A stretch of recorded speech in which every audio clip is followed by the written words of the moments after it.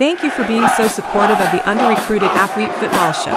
We are pleased to announce that Tyler Allison of Indian River High School has been voted as a 2023 URA fan favorite. Please continue to like, share, and follow us on social media.